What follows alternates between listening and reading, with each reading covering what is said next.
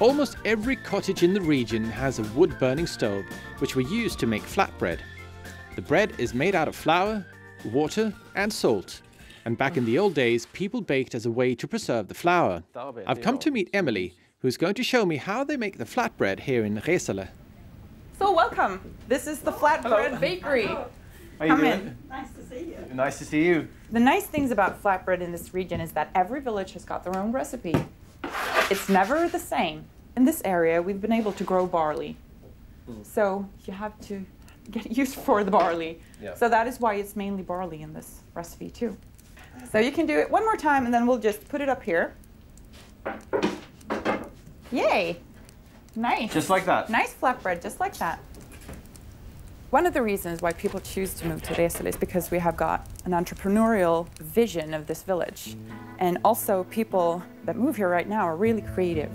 And they bring their kids, they bring their wives or their husbands, they bring their mothers and fathers, their grandmothers, and everything, because this is a lifestyle. We can do things together. I think that together is a word that we have to use a lot more often. We're a family, this village, and we help each other out. Okay, it's time for the famous fermented herring. This region's rather special and somewhat strange way of preparing fish to create an incredible culinary delight. This is it. It's a world center of fermented herring. World Center of Fermented Ah. Herring. It comes in and we put it into maximum salted brine for 24 hours. And then it starts to ferment. And it ferments approximately for eight weeks. And then we put the can on the table together with friends. We open the can and then we start our journey to Nirvana. Are you ready? I'm very ready for this. Follow- I'm follow very, me. very ready for this.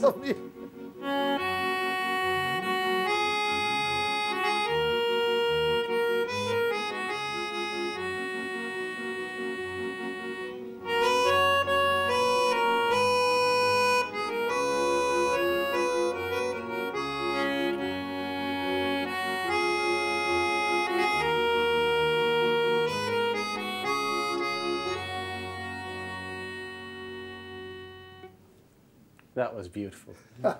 Yes. That actually calmed me down. Put me in surströmming mood. Yes. The smell, the, uh, as some people would say, stench, but smell is very, very intense. It's, uh, this is one of the most um, extreme types of food that you can probably get in Sweden, or I would say anywhere else in the world. I'm very excited. I'm just a little bit scared of eating it. Here we go. And you be the judge whether it's good or not. Eh. Oh, it looks good. Did you bake it yourself? I did. Perfect. Is it? So this, this semi-soft texture is what we're looking for. Great. The classic is a piece of fish, Yes. a little sour cream, red onion, then just for the color or something like that, you can have a piece of tomato. Let's have it. Salute. Mm.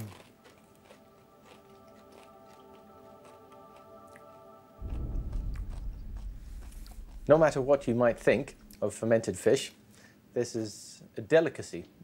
It's absolutely a delicacy.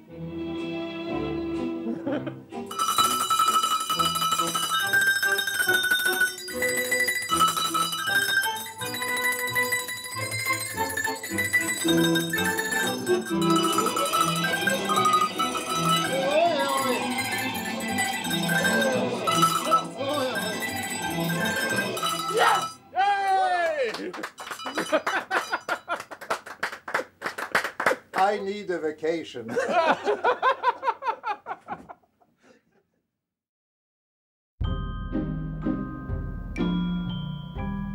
I've decided to accept the challenge and climb the high coast's most popular tourist spot, Skuleberget. This is Sweden's highest marine coastline at 286 meters above sea level. But not all tourists will do what I'm about to do in order to get to the top. It's a little bit wet today, but you, you look strong. so this is the toughest we can do today. That's so. the kind version. Yeah, yeah. Says, you know, I wouldn't be able to handle the others. no, no. So this is the toughest to do today. The wall we're going to climb is 250 meters high, and the wire is 294 meters. 294? Yeah, so it's a steep one. So I'm behind you. Okay, good. I'm your airbag.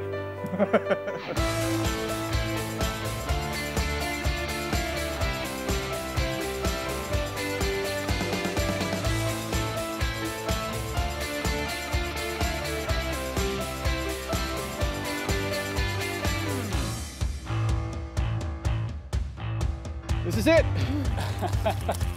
oh! Yes! I'm on top of the world! I can't believe I climbed those 250 meters. You've got to have a look at this.